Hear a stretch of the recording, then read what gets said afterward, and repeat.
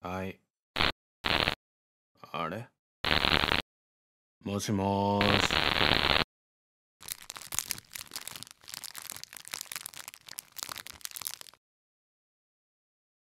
かくれんぼ。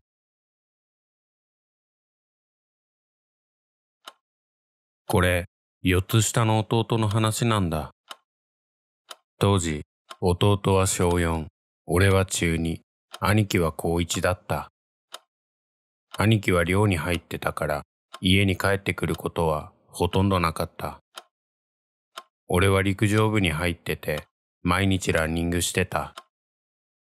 ある夏の日、いつも通り早起きすると、下のベッドで寝ているはずの弟がいなかった。トイレに行っているんだろうと思い、気にせず、外に出た。すると、弟が外で寝てた。俺は弟を起こして、気にせずランニングに行った。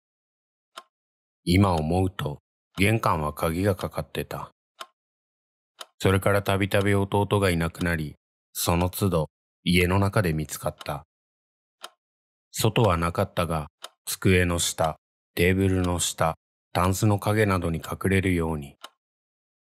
そんなことも忘れていた今年の正月、家族で思い出話をしている時に、母親が言ったんだ。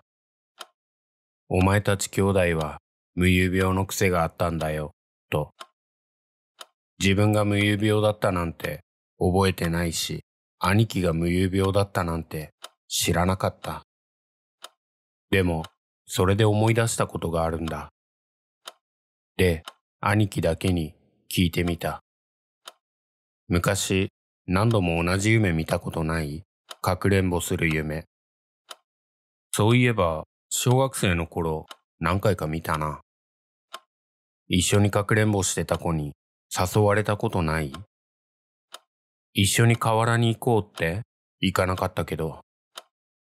同じだ。俺も断った。最後にその子に言われなかった。じゃあいいや。弟と行くから。